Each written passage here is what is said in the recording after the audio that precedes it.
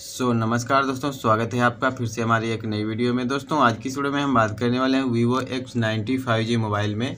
Net speed को show कैसे किया जाएगा? स्टेटस बार पे जैसा कि दोस्तों यहाँ पे देख पा रहे हमारे मोबाइल में नेट स्पीड शो हो रहा है।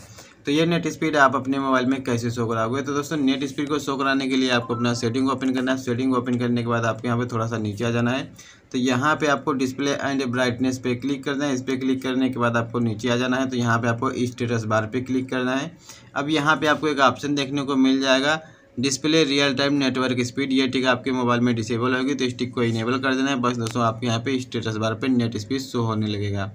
तो दोस्तों, इस तरह से आप Vivo X ninety five G mobile में नेट स्पीड शो करा सकते हो बिल्कुल ही आसान तरीके से। दोस्तों, वीडियो से आपको सही जानकारी मिले तो प्लीज़ वीडियो को लाइक और चैनल को सब्सक्राइब ज़रूर करें।